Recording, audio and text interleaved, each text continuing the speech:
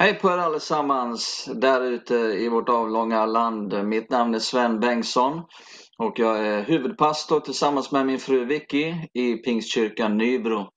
Och mycket varmt välkommen hem till mig här i Södra Bondetorp i, i Nybro. Och jag ska dela några tankar med er och jag har en rubrik på det jag ska dela en liten stund och det är Inga bekymmer. Vi ska läsa en text i Bibeln, i Lukas evangelium, det tionde kapitlet, vers 38 till 42. Där står det så här. Medan de var på väg kom Jesus in i en by och en kvinna som hette Marta tog emot honom i sitt hem. Hon hade en syster Maria som satte sig vid Herrens fötter och lyssnade till hans ord. Marta däremot var upptagen med alla förberedelser. Hon kom fram och sa, Herre bryr du dig inte om att min syster har lämnat mig att sköta allting själv? Jag säger nu till henne att hon hjälper mig. Herren svarade henne, Marta, Marta, du bekymrar dig och oroar dig för så mycket, men bara ett är nödvändigt. Maria har valt den goda delen och den ska inte tas ifrån henne.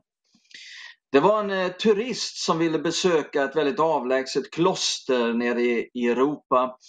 Och grejen med det här klostret var att det var beläget eh, 300 meter upp för en, en eh, lodrätt bergvägg.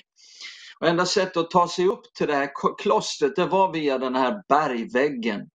Och då fanns det en hiss man fick åka med, en korg som hissades upp Eh, med ett tjockt rep eh, och, och längst uppe på, på klippan så stod det ett par munkar som, som vevade upp den här korgen då. Och den här turisten då han klev i den här korgen och så var det en annan munk eh, som eh, följde med honom för att guida honom upp för bergväggen. Halvvägs upp för den här lodrätta bergväggen så fick den här turisten en sån bekymrad blick. Han fick syn på repet. För repet var väldigt slitet tyckte han och, och det höll i, i princip på att nästan gå av. Så han frågade munken, eh, hur ofta byter ni rep här egentligen? Ja, så munken, så ofta ett går sönder. Jag vill tala en stund om bekymmer. När turisten fick bekymmer. Marta, som vi läste om här, hon hade ett problem i sitt liv. Eh, ett problem som skadade henne, höll henne bunden. Ett problem som Jesus identifierade och ville befria henne ifrån. Vad var då detta för ett problem i Martas liv? Vissa tror faktiskt att det var att hon var engagerad och en väldigt upptagen kvinna, att hon liksom skyndade på och ville ställa allt i ordning.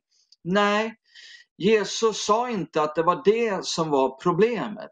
Nej, problemet som Jesus identifierade var att hon bekymrade sig, sa han, och oroade sig för så mycket. Vissa lyfter helt felaktigt fram det här bibelstället när de vill sluta engagera sig och bara sätta sig ner och inte göra någonting. Jag ska bli som Maria. Eh, nej, det Jesus vill befria från är bekymmer. Bekymmer, det första jag vill bara tala om det är att det är en av livets största fiender. Det är en stor fiende till gemenskap med Gud. Det finns två verkligt stora fiender till gemenskap med Gud. Det ena är synd. Eh, och det kan vara enklare att identifiera som någonting som skadar gemenskapen med Gud. Eh, men på samma sätt skadar bekymmer gemenskapen med Gud. Inte så att bekymmer är synd och att om du har bekymrat dig så har du syndat. Nej, men bara den förståelsen att synd och bekymmer är som en parfiende där konsekvensen blir ganska likartad. Ja, bara den förståelsen kan göra att vi börjar behandla bekymmer eh, och bjuda det motstånd på samma sätt som vi bjuder synd motstånd. Vi ser just detta i Martas liv så tydligt. Maria, hon hade en upprättad gemenskap med Gud. Men Martas alla bekymmer kom i vägen för henne. När bekymmer får uppta hela vårt sinne och hela din tankevärld, då hindrar det den fridfulla gemenskapen med Gud. Bekymmer blir eh, eh ett hinder också att ta emot ifrån Gud. Jag ska läsa eh, ett annat ställe där Jesus talar om bekymmer. Han talar om bekymmer en hel del faktiskt. I Matteus 13 och vers 22. Så säger Jesus, det som såddes bland tistlar är den som hör ordet men världsliga bekymmer och bedräglig rikedom kväver. Vad gör det? Det kväver ordet så att det blir utan frukt. Här läser vi om hur bekymmer har en kvävande effekt. På samma sätt som synd kväver livet och gemenskapen med Gud så kväver bekymmer livet med Gud. Och därför ser Jesus bekymmer som någonting fientligt som han vill befria dig ifrån. Jesus talar här om bekymmer och, och också då ett felaktigt jagande efter pengar. Och redan tidigare i Matteus evangelium så har Jesus talat om just det här bekymmer kombinerat med ett felaktigt jagande efter det materiella. Vi går tillbaka till Matteus 6 och vers, från vers 24 står det följande. Ingen kan tjäna två herrar. Antingen kommer han att hata den ena och älska den andra eller hålla fast vid den ena och förakta den andra. Ni kan inte tjäna både Gud och mammon. Därför säger jag er, bekymra er inte för ert liv, vad ni ska äta eller dricka, eller för er kropp, vad ni ska klä er med. Är inte livet mer än maten och kroppen mer än kläderna? Se på himlens fåglar, de sår inte, de skördar inte, de samlar inte i lador och ändå föder er himmelske far dem. Är inte ni värda mycket mer än dem? Vem, kan med er, vem av er kan med sitt bekymmer lägga en enda an till sin livslängd? Och varför bekymrar ni er? För kläder. Se på ängens liljor, hur de växer. De arbetar inte och spinner er, men jag säger inte ens Salomo i all sin prakt var klädd som en av dem. Om nu Gud ger sådana kläder åt gräset som idag står på ängen och imorgon kastas i ugnen, hur mycket mer ska han då inte klä er? Så lite tro ni har. Bekymra er därför inte och fråga inte vad ska vi äta eller vad ska vi dricka eller vad ska vi klä oss med? Allt detta söker hedningarna efter. Men er himmelske far vet att ni behöver allt detta. Nej, sök först Guds rike och hans rättfärdighet så ska ni få allt det andra också. Bekymra er alltså inte för morgondagen. I exemplet med Maria och Marta som vi läser så var det ju så att Maria, hon gjorde just detta. Hon sökte först Guds rike. Hon sökte först gemenskapen med Jesus, att få ta emot hans ord, att ta emot hans undervisning. Men för Marta hade något annat blivit först. Så det vi bekymrar oss för kan plötsligt bli först i våra liv. När Guds rike däremot får bli först. När gemenskapen med honom eh, blir först, när hans ord till oss blir först, ja då kan jag plötsligt möta allt annat i livet utifrån ett helt annat perspektiv, eh, med en helt annan grund under mina fötter och då kan det fantastiska inträffa att jag blir bekymmersfri. Inte ansvarsfri. Eh, inte fri från engagemang, men fri från bekymmer. Han som frälser ifrån all synd, han vill befria från alla bekymmer. Där det finns en frigörelse från synd, där finns det förlåtelse. Där det finns frigörelse från bekymmer, där finns det frid. Jesus som tog på sig dina synder, han vill också ta på sig dina bekymmer. Vet du vad, det handlar helt enkelt om att ge hela sitt liv till Jesus. Att säga Jesus, du tog min synd, nu ger jag också hela mig själv till dig. Jag överlämnar allt i mitt liv till dig. Jag lägger mig i dina händer, även mina bekymmer. För du Jesus har svaret på alla problem. Det var en man, han stod vid sidan av vägen och liftade. Han hade en tung ryggsäck som vägde 40 kilo på ryggen. Och efter ett tag så stannade en, en lätt lastbil med, med ett litet flak. Och han som körde lastbilen sa du får inte plats här inne i hytten men, men du får gärna sitta på flaket.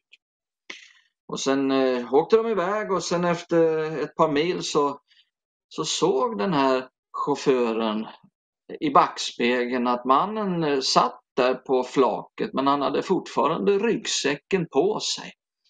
Så han stannade och klev ur och sa, men, men snälla du, ställ av dig ryggsäcken. Varför har du ryggsäcken på dig? Ja, sa den här mannen, jag tänkte att det räcker att du har plockat upp mig och, och, och skjutsar mig. Ryggsäcken tar jag hand om. ja, så kan det vara i våra liv också.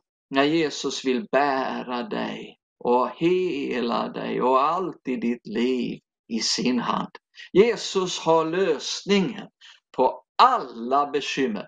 Men grejen är att vi måste ge bekymret till honom. Och i samma stund som han får det, då börjar han arbeta på det och han löser det. Så titta med mig nu här då hur vi ger bekymret till Jesus. Det står så här i första Petrus brev kapitel 5 och vers 7. Och kasta alla era bekymmer på honom, Jesus, för han har omsorg om er. Hur mycket av våra bekymmer ska vi kasta på Herren? Det står kasta alla våra bekymmer. Du vet, du kan studera det där ordet alla i den grekiska grundtexten. Och vet du vad det betyder? Det betyder alla. Ja, men mitt lilla bekymmer ska väl inte störa Jesus med. Det är ungefär som att säga, ja men min lilla synd ska jag nog ha kvar. Bekymmer och synd är inte samma sak, men konsekvenserna är likartade och vi behöver behandla synd och bekymmer på ett likartat sätt. Och i och med att det står alla bekymmer, kasta alla bekymmer på honom. Då är det därmed min vän ett löfte att Jesus vill hjälpa dig till ett helt bekymmersfritt liv. Det är ett löfte om det. Vad som än bekymrar dig så är Herren intresserad av att ta det på sig. Han vill ge total frid på livets alla områden. Att Herren vill ge oss frihet från bekymmer, lyssna noga på mig nu. Att Herren vill ge oss frihet från bekymmer betyder inte frihet från problem. En del gör likhetstecken mellan problem och bekymmer, men det är det inte.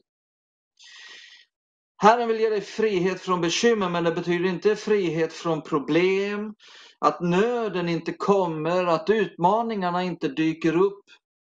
Men i detta vill Herren hjälpa dig så att du inte behöver bekymra dig. Jag gillar det här uttrycket. Det står kasta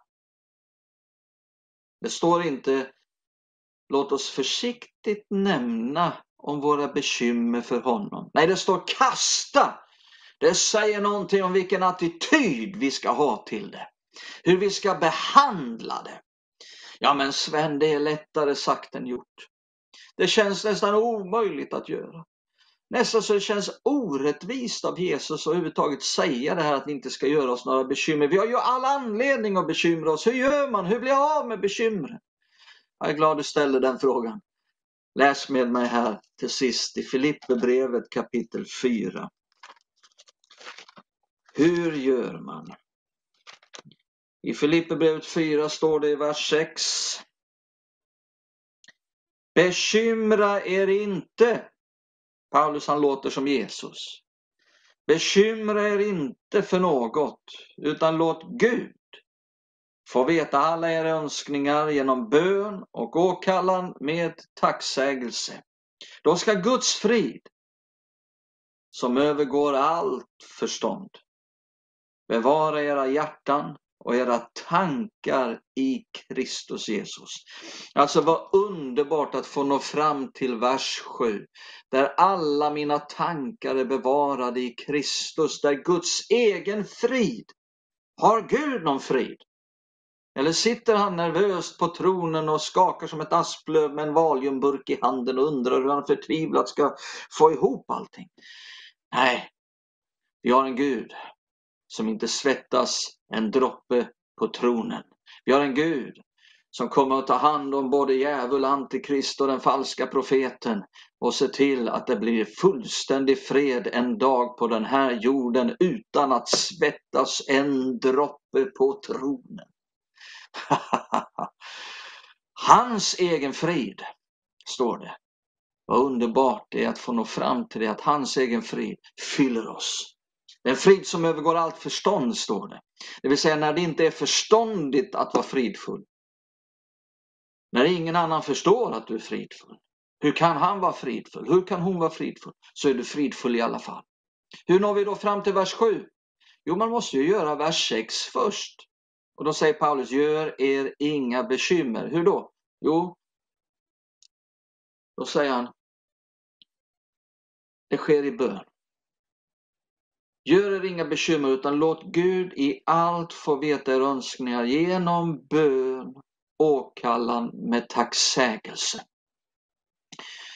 Så det sker i bön. Det sker att, i att anropa Gud om hans hjälp. Åkalla anropa, kalla på Guds hjälp. Så vad det handlar om, det är att när du i bön har kastat ditt bekymmer på Herren, så kan du fortsätta i tacksägelse, säger Paulus. Bön och kallan med tacksägelse. Och tacka Gud att han har hört din bön och svarat på din bön redan innan du ser något resultat. Och sen så fort du kommer att tänka på det så kan du säga tack Gud i Jesu namn att när jag bad så hörde du min bön. Då svarade du på min bön. Även om jag inte kan se det, även om jag inte märker det. Jag har tagit emot det i tro. Så kan du gå vidare så. Och därefter min vän så behöver vi minimera matandet av bekymmer. Du behöver minimera matandet av bekymmer.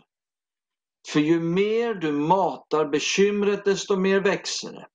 Svält bekymren och mata din tro istället.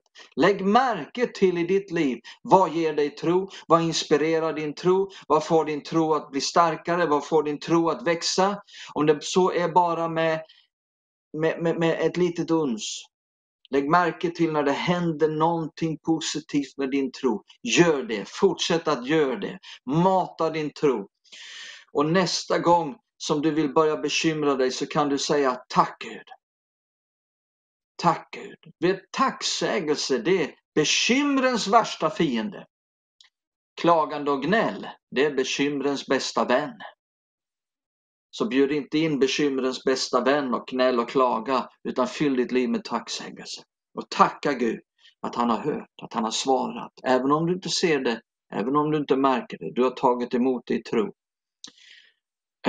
Så att vi behöver minimera matandet av bekymmer och det är just det som Paulus säger i nästa vers. Vers 8. För övrigt bröder, allt som är sant och värdigt, rätt och rent, allt som är värt att älska och uppskatta, allt som kallas dygd och förtjänar beröm. Tänk på allt sådant! Vad tänker du på människan? Vad matar du ditt sinne med? Paulus säger, mata ditt sinne med Allt som är sant, många kristna tänker bara på det som är falskt. Och värdigt, många kristna tänker bara på det som är ovärdigt. Rätt, många kristna tänker bara på det som är orätt. Och rent, många kristna tänker bara på det som är orent. Allt som är värt att älska, alla eh, Många kristna tänker bara på det som är värt att hata och uppskatta. Många kristna tänker bara på det som är värt att fördöma och som kallas dygd och förtjänar beröm. Många kristna tänker bara på det som är värt att klandra. Nej, Paulus säger låt inte ditt, ditt sinne, din tankevärld vara en sophink för djävulen och det onda och det mörka. Utan fyll ditt sinne med positiva tankar. Det finns en kamp i det här, absolut. Speciellt i början av trons utveckling och tillväxt. Vi har alla varit där när vi kommer till Gud med våra bekymmer, visar dem och tar med dem hem. Vi trodde att vi hade kastat dem på Herren, men så vaknar vi på natten och så upptäcker vi bekymren är där och stirrar oss i ögonen. Ibland är det som att fastna i sånt här flugpapper som brukar finnas på, på bondgårdar. Det minns jag från min barndom när jag besökte bondgården. Fortfarande idag kan man se det ibland i hem. Man har hängt upp sådana här flugpapper. Har du fastnat i flugpapper någon gång? Det är hemskt. Oh, det, det, det bara är överallt och det, det fastnar. Och man, det kan sätta sig i håret och, och, och, det slänger och har sig. Och sen så trodde man att man hade blivit av med det. Och tio minuter senare så upptäckte någon att det satt fast på ryggen.